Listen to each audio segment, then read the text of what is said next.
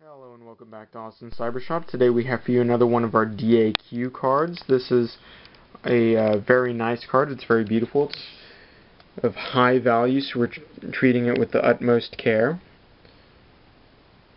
And show you the connector too.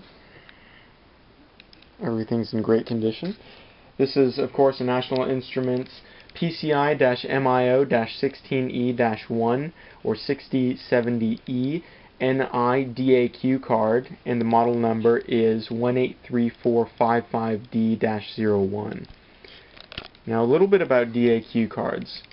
Uh, a DAQ card, the three main functions that it's supposed to support is uh, have sensors that convert physical parameters to electrical signals. It signals conditioning circuitry to convert sensors uh, signals into a form that can be converted into digital values and, in analog to digital converters which convert conditioned sensor signals into digital values. Uh, data acquisition applications are controlled by software programs uh, developed in using various program languages, of course. Um, of course, if you're interested in this card, I suppose you already know a lot of this, but couldn't hurt.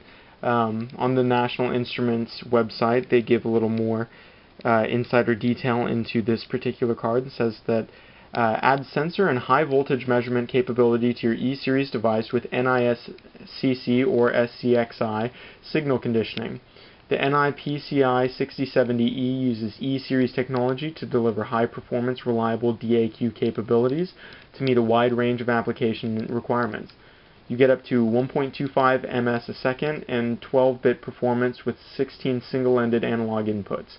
Depending on your type of hard drive, the PCI 6070E can stream to, to disk rate to disk at rates of up to 1.25 ms a second.